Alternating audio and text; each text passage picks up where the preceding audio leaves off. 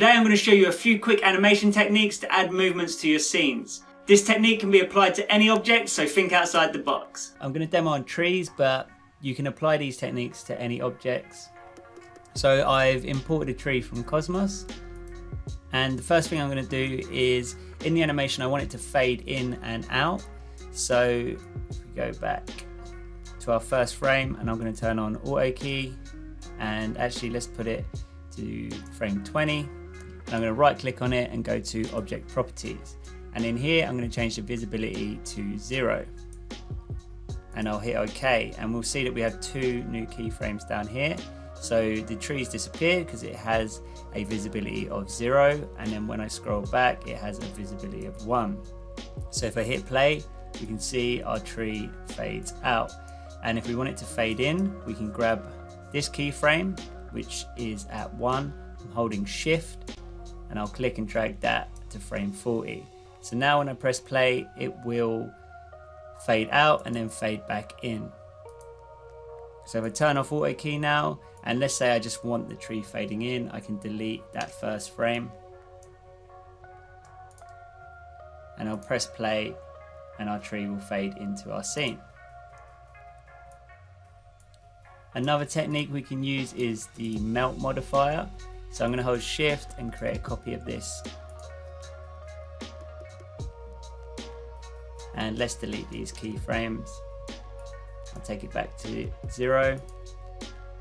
And let's add the melt modifier. And I've got auto key turned on and I'm actually going to hit set key to make sure that this key is set and then at frame 40 let's melt our tree. And then I'll turn off auto key and we'll see that our tree will melt. And again, if you select that first frame, you can pull it up to whatever frame you want. And we're going to have our tree melt and then it's going to grow again from the ground. So if you got rid of that first frame, you can actually have your tree grow from out of the ground using that modifier, which can be quite an interesting technique. And finally, let's do one more and we'll just animate this one.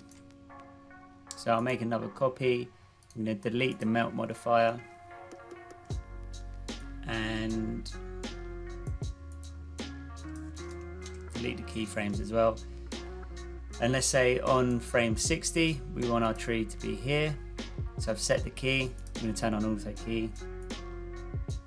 But we actually want our tree to start under the ground and we want to rotate it up. So I'm going to pull that out of the scene as well. So now if I turn off auto key, when we press play, that should animate into our scene like that. And obviously you can speed it up if you select that keyframe and bring it in. That's going that animation will happen faster.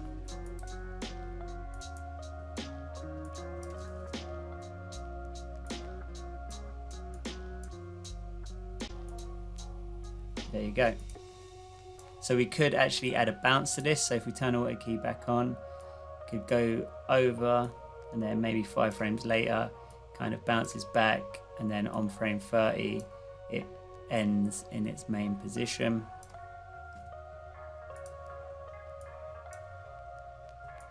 So now it looks like it kind of bounces up there, which can be a nice little addition. So there's three ways of animating objects in our scene.